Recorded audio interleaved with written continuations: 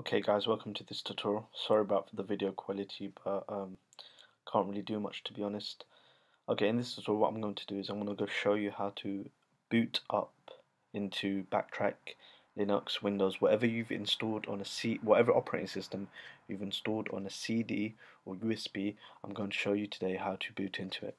Now this is especially relevant if you've watched my Backtrack tutorial where I show you how to install Backtrack onto a USB. Um, this is the video that will show you how to actually boot into Backtrack once you've installed onto the USB. So the first thing that you need to do is if you've installed the operating system on the CD then you need to make sure the CD is in the CD drive. So start up your computer, put the CD in the CD drive and turn it off. Um, with the USB you can just plug it straight in whilst it's off it doesn't really matter but with the CD drive obviously because it's already closed you're going to need to um, turn on your computer and um, and put the CD in before you um, before you attempt to boot in.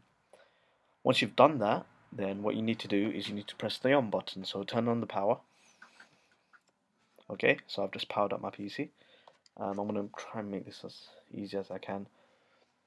Now have your hands at the ready because what you want to do, if you don't get it first time, don't worry. But what you want to do is you want to look out for a little message towards the bottom of the screen. So I'm going to zoom in, and that it says F12 there for the boot menu. That's the that's what you want look for where it says um, where it says something like that. Um, where it says okay press F2 for the boot menu or press F12 or escape for the boot menu. Look for something like that. Once you see it if you don't get it the first time um, in that if it boots into your operating system you know not on your CD but your normal operating system if you don't get it just restart your computer turn it on again and make sure you have your finger on the key at the ready and you know press it a few times if you have to. So mine was F12 and I pressed it. Look F12 um, so I pressed it like a few times and now I'm into this menu.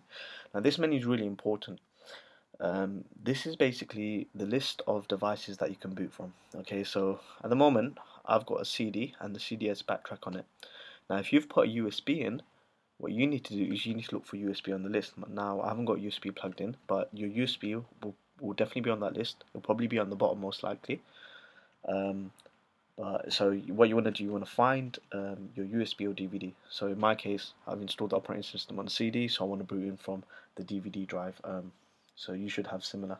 If you booted again, or if you installed on USB, look for the USB and then press enter. Now what that should do is it should start loading Backtrack. Okay. Um, if you've installed Linux or Windows, whatever on CD, then you should see um, the menu now. Um, and this is a really old version of Backtrack, so um, I'm going to start it up. It's Backtrack 4 actually. But just to show you that it's working, I'm going to boot into it. Um, so let's just wait for this loading. But that's about it really. I mean, um, that's about it. That's all it is to it. All you need to do is plug in your CD USB, look for the key, press the key, select your device from the menu and press enter. And then it'll start booting. If you get any errors, most likely it means that um, you haven't installed the operating system properly onto the CD or the USB. So Backtrack's just loading here. This is Backtrack 4. It's really old.